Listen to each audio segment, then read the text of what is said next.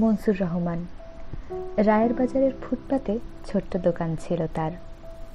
দেশের অবস্থার কারণে বন্ধ পড়ে আছে মনসুরের দোকান অনেক দিন ধরে।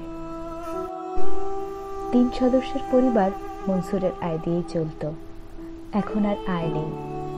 পরিস্থিতি কবে স্বাভাবিক হবে সেটাও জানেন না মনসুর ও তার পরিবার। তিনি বলেন, করোনায় না মরলেও না খেয়ে ঠিকই মরতে হবে। কিছু সাহায্য পেয়ে খানিকটা ভরসা পান। এই ভরসা বাঁচিয়ে রাখতে আপনাদের সাহায্য প্রয়োজন।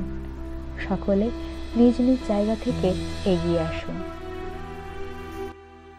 আপনিও পারেন আপনার জায়গা থেকে সহযোগিতার হাত বাড়িয়ে দিতে। হোক সেটা আর্থিকভাবে কিংবা কোনো পণ্যের যোগান দিয়ে। আমাদের মাধ্যমে কিংবা অন্য কোনো সংস্থার সাথে যোগাযোগের মাধ্যমে। আপনিও বাড়িয়ে দিতে পারেন আপনার সাহায্যের হাত। কারণ আপনার সাহায্যও গুরুত্বপূর্ণ।